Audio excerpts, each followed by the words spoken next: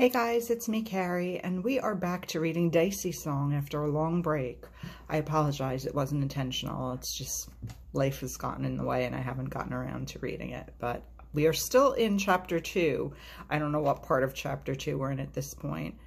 Um, honestly, these will all be posted in order in my um, persevering story time with Kari. That's right, story time with Kari, I think is what we call this playlist. So they'll all be in chronological order in terms of the most recent being, you know, the, the newest videos. And if you want to go back to the beginning of Dicey's song, obviously just scroll down to see the first video. Because if I label them by chapters, it gets confusing. And I don't know. We'll figure it out eventually.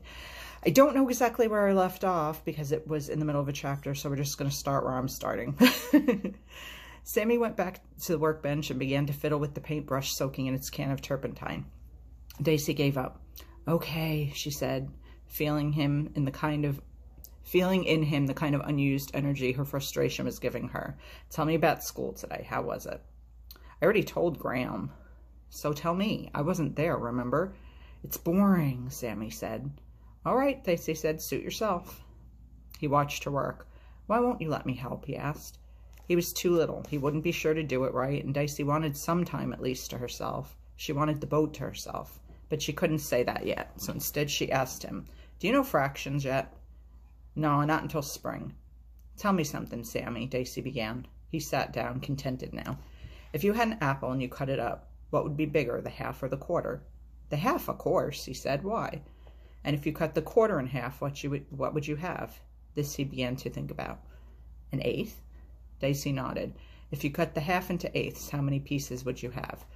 You mean if I had half an apple? Dicey nodded. I think four. Why? No reason. I was just wondering. You already understand fractions, Dicey said. Then why doesn't Maybeth? Sammy asked. I don't know, Dicey answered. After supper, they did homework. James was usually finished first, but that night he worked as long as Dicey, doodling on a piece of lined paper. He had a report to do on the pilgrims, and he was trying to pick a subject, he told Dicey. He didn't want any help. He had a lot of ideas. It was just a matter of finding the right one. What did he mean the right one, Dicey asked. James explained that he wanted the one the other kids would enjoy because they were going to read them out loud in front of the class. He wanted them to like his. Dicey said she thought kids in his special class were all smart. They're okay, James said. Dicey looked up into his narrow, thoughtful face. She could hear Graham and Maybeth working in the kitchen. It sounded like Maybeth was stumbling through the same list of words she'd been reading that afternoon. I thought they were smart, Dicey insisted, like you. He shook his head. Not like me, he said. I thought they might be, but they aren't. They're okay, he repeated. His eyes slid away from hers and back to the boxes he was drawing on his paper. When Graham and Maybeth came into the living room, Dicey asked Graham if she'd ever heard the song the guitarist had played that day. Graham said she hadn't. Dicey hummed the tune, and Maybeth hummed it with her. So Dicey taught Maybeth the first verse, which was the only one she could remember. I like it, Maybeth said. Her eyes had little bags under them, and no wonder, Dicey thought, since she spent most of her days bending her face over one book or another, trying to catch up and keep up. They sang the verse together, twice. Maybeth went to the piano to pick out the tune. Dicey made a mental note to find out the rest of the words, if she could see that boy again. There's something about a coat of many colors, she told her family, who were kind of half listening, the way families do. Joseph coat, Joseph's coat, James said, right, Graham? Graham agreed and told how Joseph's father had given him the coat because he was a favorite, the favorite of 12 sons in Israel. But this was about a man who went to jail, Dicey said. It sounded American. It's got to be a book somewhere where there's where somebody's written down these songs, James remarked. I bet there is. Graham cleared her throat. I have a question to ask you all. Maybeth, you too, she called. They waited.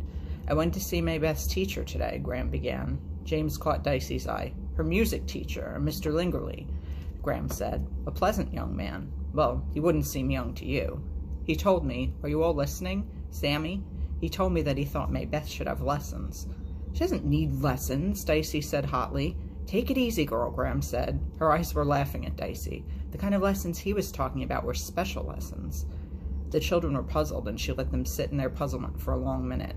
Lessons for someone who was talented. Dicey felt a smile begin, and she looked at Maybeth. Maybeth's face hadn't changed, as if she hadn't yet understood that this teacher note was different from all the other ones she had carried home. Piano lessons are what he suggested, Graham said. Can I too? Sammy said. Graham shook her head at him. Just Maybeth. What do we think of that? Terrific, Dicey said. But how can we pay for them? James asked. Do you think I can? Maybeth asked Dicey. Do you want to? It would mean even more work, practicing. You have to practice piano, don't you, Graham? Dicey asked. Mr. Lingerle said he would be happy to give Maybeth the lessons once a week after school, and he would drive her home afterwards, Graham announced. He said he would charge $5 a lesson, which isn't unreasonable in my opinion. She sat back then to let them think about that. Maybeth was on the piano bench, her hands clasped tight together, not looking at anyone. He said, Graham added, that in over 10 years of teaching, Maybeth is the most exciting student he has ever had.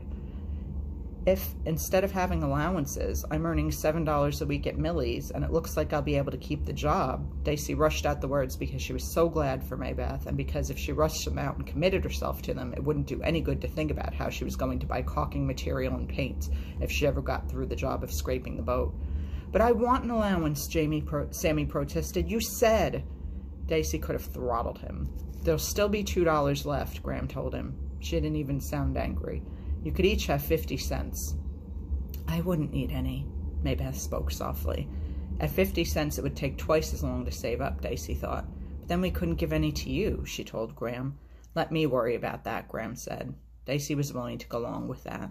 Maybeth, do you want to take piano lessons? Graham asked, even if it means another lot of work for you? Yes, please, Maybeth answered quickly.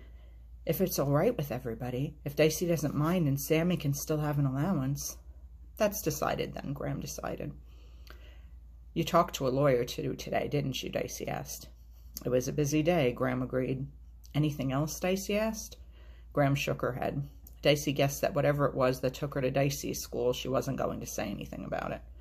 James was looking at Dicey curiously, as if he suspected there was something she was thinking about. I have a report due in three weeks, he told Graham. Something on the pilgrims, so Mr. Thomas will have something to show parents at the conferences. What conferences? Graham asked, startled. What parents? You don't have to come in, James assured her. There are conferences when we finish six weeks of school, so the teachers can talk about how the kids are doing, and the parents can meet the teachers. Lots of classes have special projects due just before then, so the parents have something to look at. We're going to make a bulletin board with poems on it, Sammy said. Poems, he repeated without pleasure. We're going to vote, he added with more enthusiasm. Dicey could figure out what he meant, probably vote on the poems to be put up on the bulletin board. I bet you can write poems, all right, she told Sammy. He shrugged. I'd like to write something kids in my class will be interested in, James said. Dicey wasn't sure who he was talking to and what he wanted to be answered. I'd think you'd want to write something you would be interested in, Graham said. I want to play checkers, Sammy announced.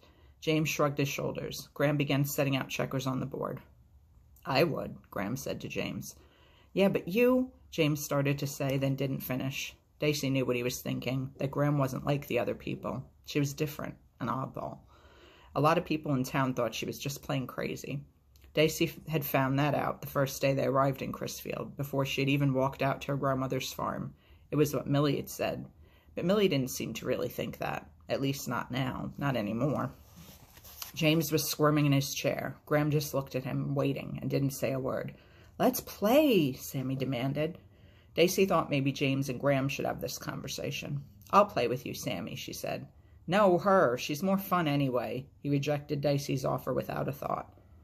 Then I can hear Maybeth read, Dicey said. I already did that, Graham told her, ignoring James. So all Dicey had to do in the time before the little kids went up to bed was sit with Maybeth on the piano bench and sing. That was okay with her. James came over to join in, and she could hear Sammy's voice sometimes, too. That Friday, when the science teacher announced that they would need partners for the next two weeks, which would be laboratory work classifying rocks, Dicey felt a moment of unease. There were 37 kids in the class, so probably one person wouldn't have a partner, and probably that would be her. That was okay. She liked working alone. She was used to it. But she wanted to be sure everyone knew that she didn't care about not having a partner. She stared down at the notebook opened before her on the high table, pretending to read what was in it, to show she wasn't interested in the babbling of voices. When she felt someone standing beside her, she thought probably it was the teacher and didn't look up, as if she was too engrossed to notice. Want to work together?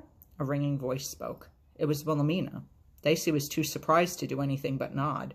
The big black girl put her notebook and textbook down beside Dicey's. She dropped a half dozen pens and pencils beside it. She hoisted herself up onto the stool beside Dicey. I'm Wilhelmina Smiths. Smiths with an S at both ends, she told Dicey. My friends call me Mina. You're Dicey Tillerman. Dicey nodded and stared. She was pleased to have this girl for a partner, but she wondered at the buzzings of conversation around them, and wondered if Mina had felt sorry for her, the new kid, and that was why she chose Dicey. We're the smartest ones in here, Mina said, lowering her voice so that nobody would hear. She smiled at Dicey, and her teeth flashed white, and her round cheeks got rounder. Her skin was smooth and milk chocolate brown. Her hands arranging things on the tabletop were large and quick. How do you know that? Dicey asked. I know about me, Mina answered. I've been keeping an eye on you. Don't worry, I won't eat you, she told Dicey, grinning. Dicey looked at the girl and grinned back at her. Did she think that just because Dicey was scrawny and small, and she was so large and strong-looking, that Dicey would be scared of her? I'm not worried, Dicey said. If Mina knew the kind of things Dicey had done all her life, and especially last summer, she wouldn't think Dicey could be scared.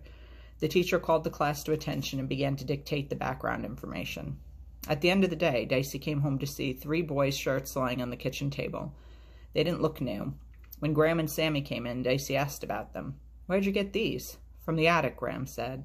Dicey drank a glass of cold milk and picked up the top shirt. It was plain white cotton with a collar that buttoned down.